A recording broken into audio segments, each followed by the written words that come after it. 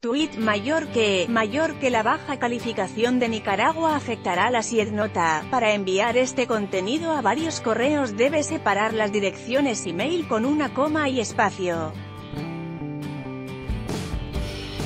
Nuestro sistema permite un máximo de 5 destinatarios y un comentario de hasta 2,500 caracteres en el mensaje. Destinatarios, remitente, comentario enviar por, enlace compartido exitosamente, por no hemos podido compartir el enlace en este momento, inténtelo de nuevo más tarde. Mayor que, mayor que la baja calificación de Nicaragua afectará la SIE de implicaciones. Las calificadoras de riesgos destacaban de Nicaragua el crecimiento económico sólido y la reducción de las vulnerabilidades externas, sin embargo, están revisando a la baja calificación del país por la crisis sociopolítica.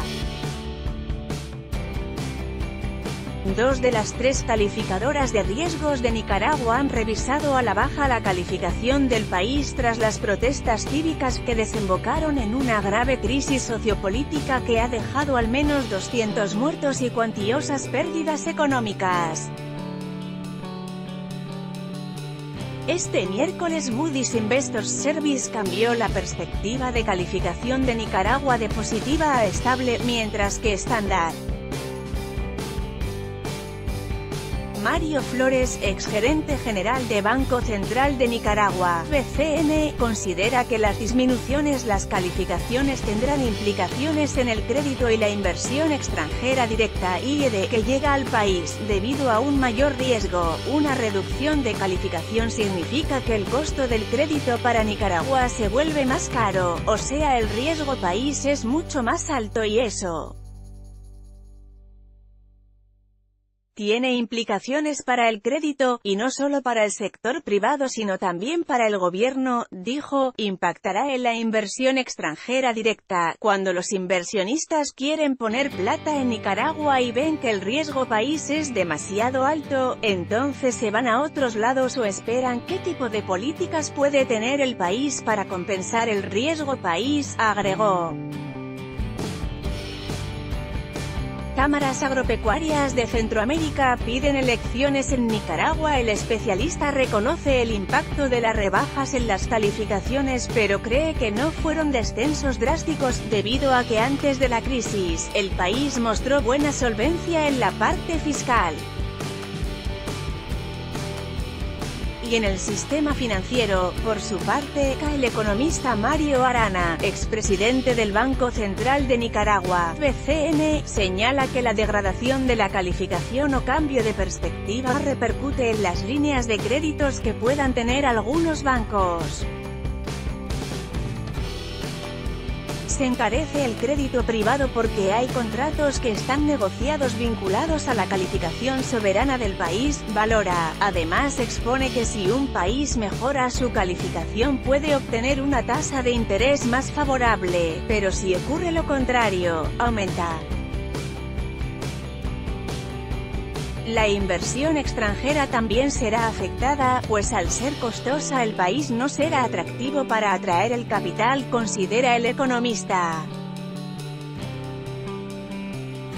El informe anual del Banco Central de Nicaragua, BCN, indica que en 2007, los ingresos de inversión extranjera directa representaron 5,1% del PIB, Producto Interno Bruto, mientras que en 2017 representaron 10,6% del PIB, lo que implicó un crecimiento de 284,1% respecto a 2007.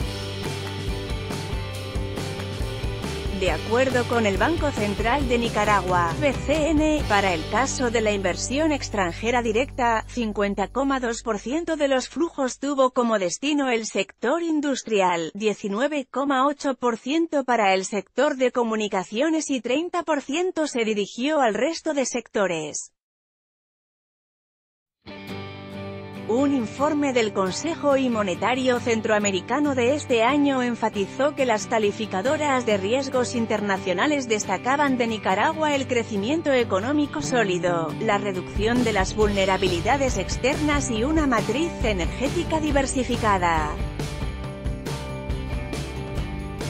Pero ahora Nicaragua, desde hace más de 50 días, está sumida en una crisis que ha dejado al menos 200 muertes, saqueos y pérdidas económicas que podrían oscilar entre, en dependencia de la disposición del gobierno de buscar una solución consensuada, al problema. El documento del Consejo y Monetario Centroamericano menciona que Nicaragua cerró 2017 con una calificación B, con perspectiva estable, de parte de Fitch y Standard Poor's y B2 positiva otorgado por Moody's. En el caso de la última firma mantuvo su calificación B2, pero mejoró su perspectiva, de estable a positiva en septiembre de 2017.